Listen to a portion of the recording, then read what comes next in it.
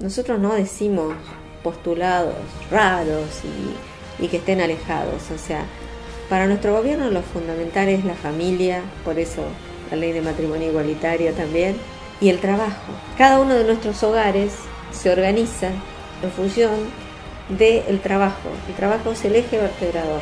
Padres trabajando, los chicos en la escuela, formando familias, los diferentes tipos de familias que tenemos hoy.